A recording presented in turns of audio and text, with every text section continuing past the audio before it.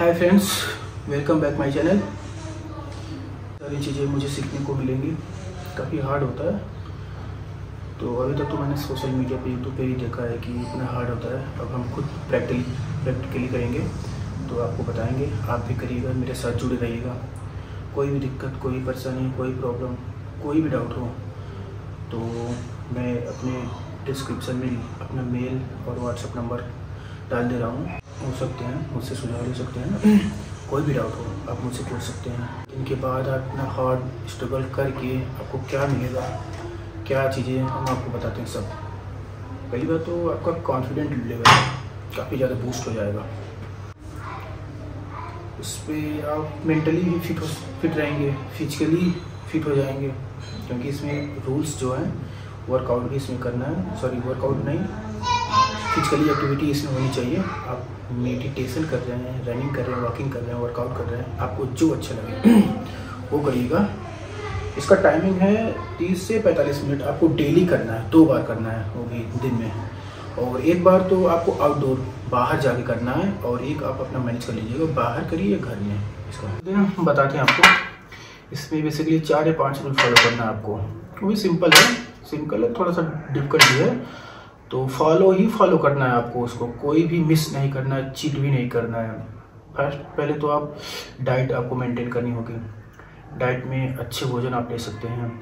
इसमें आपको हरी सब्ज़ियाँ खानी है फ्रूट्स वगैरह लेना है। जूस भी ले सकते हैं। कुछ भी खा सकते हैं मतलब ज़्यादातर आयली जो फ़ूड होती है, उसको अवॉइड करना है। जंक फ़ूड तो बिल्कुल नहीं खाना है, उसका ख्याल भी मत लाइएगा। उसको अब सोच रहे कि थोड़ा सा खा लें, तब भी आपका रूल रूल के अंदर रह जाता है। तो रूल तो रूल वो ख़त्म आपका। चैलेंज आपका ख़त्म। वो एक्सेप्ट नहीं होगा। तो ये चीज़ें आपको ध्यान रखनी है। डाइट मतलब अच्छे से रखना है। जंक फ़ूड तो बिल्कुल नहीं है। डाइट का मतलब ये नहीं कि आप सब्ज़ियाँ ही खाएँ, फल खाएँ। नॉन वेज भी खा सकते हैं। नॉन वेज मैं भी खाता हूँ। तो नॉन वेज आप खा सकते हैं उसमें। कोई दिक्कत नहीं, खाइएगा। बस हाईली फ़ूड को अवॉइड करिए। चलो बस फिर दूसरे नंबर पे आता है वाटर आपको पानी एक गैलन डेली एक गैलन मतलब कि तीन से चार लीटर के बीच में आप पी सकते हैं, मौसम के हिसाब से। तो मिनिमम तो तीन लीटर और मैक्सिमम चार लीटर तो हो तीसरे पे आते हैं। आपको जो है फ़िज़िकल एक्टिविटीज़ करना है। फ़िज़िकल एक्टिविटी मतलब उसमें आपको, आप वर्कआउट भी कर सकते हैं एक्सरसाइज भी कर सकते हैं लाइटली में, या फिर रनिंग कर सकते हैं वॉकिंग कर सकते हैं। प्लस उसके साथ आप मेडिटेशन ज़रूर करिएगा और 10 मिनट या 5 मिनट आपको ध्यान मुद्रा भी करना है। ध्यान मुद्रा में बैठ के खुद को मतलब अपने माइंड को थोड़ा कंट्रोल में करना है, इसके लिए ज़रूरी चीज़ें हैं। तो अगर आप काफ़ी हैवी वेट के हैं तो आप रनिंग ज़रूर करिएगा उसमें। रनिंग और थोड़ा वर्कआउट लीजिएगा। चलिए, ठीक है, ये चीज़ें हो गई। मैं तो करूँगा, मैं तो वर्कआउट करता हूँ, मैं जाऊँगा, थोड़ा सा जिम वगैरह करूँगा, थोड़ा सा वॉकिंग करूँगा। योगा वोगा, ये सब चलता है, मेरा तो हो जाएगा।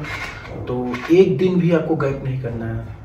सात के सातों दिन संडे हो या मंडे डेली आपको करना है। वो कैसे करना है, आप खुद मैनेज करेंगे, घर करेंगे, बाहर करेंगे, ये आप पे डिपेंड करता है। आप टाइम कैसे निकालेंगे, कैसे नहीं? तो ये तीन चीज़ें आपको बता दी मैंने। अब रूल नंबर फोर पे आते हैं। रूल नंबर फोर क्या है? आपको डेली डेली आपको बुक्स पढ़नी है। बुक्स मतलब अपने सब्जेक्ट से रिलेटेड नहीं पढ़ना आपको। कुछ अलग पढ़ना है, थोड़ा डिफरेंट पढ़ना है। साइकोलॉजी बुक आप ले सकते हैं, कोई माइंड सेट करके बुक आता है, वो ले सकते हैं। रिच डैड पुअर डैड ऐसे करके आता है। मतलब अलग चीज़ें आपको पढ़नी है। तो मिनिमम आपको ten pages minimum ten pages आपको पढ़ना है डेली का। उससे ज़्यादा आप कर सकते हो तो काफ़ी बेटर होगा आपके लिए। ये चीज़ें हो गई। तो रूल नंबर फाइव पे आते हैं।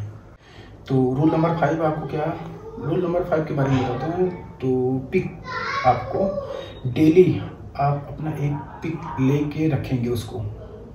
रखेंगे या फिर पहले दिन से दूसरे, तीसरे डट डट ऐसे करके पचहत्तर दिन तक जब तक चलेगा, आप अपने पिक को कंपेयर करेंगे और डेली का डेली पोस्ट करेंगे कहीं भी कर सकते हैं, अपने एल्बम में रख सकते हैं, उसे कंपेयर करेंगे।